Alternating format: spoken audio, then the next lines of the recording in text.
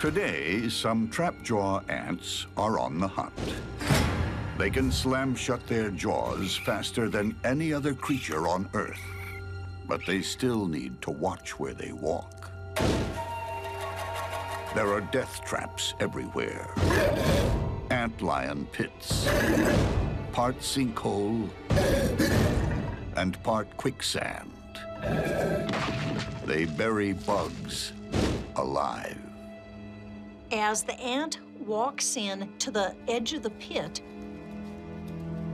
it's just so steep that they can't maintain their balance at the edge. When the ant tries to escape, the antlion showers sand from below. The antlion flips soil up and helps cause a small avalanche that helps carry the ant into the center of the pit. The ant runs for its life.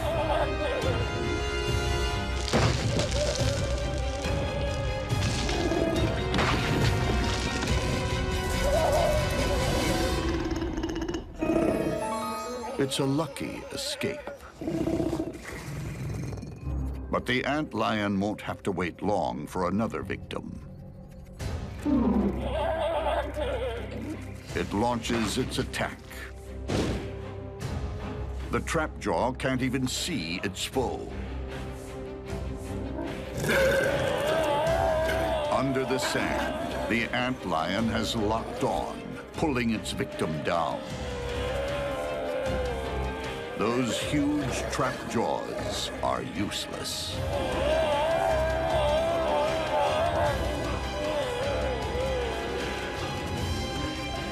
And from below, the antlion has already begun sucking its victims' insides out.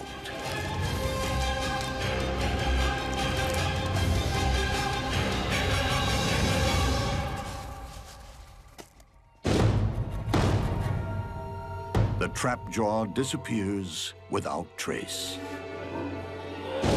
Sometimes, in a bug's world, the best weapon you can use is the environment itself.